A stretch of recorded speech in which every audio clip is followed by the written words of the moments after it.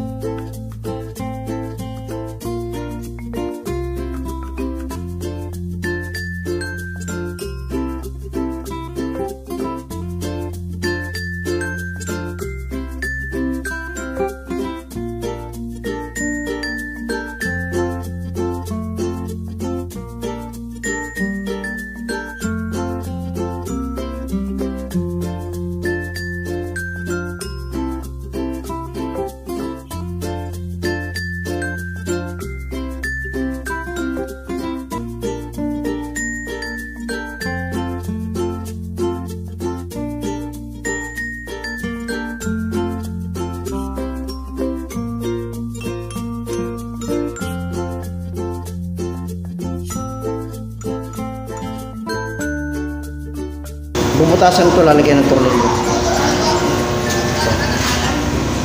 Para in case doon na sila lumipat, madaling kalasin. Kaya tinakbo lang muna, bubutasan pa ito.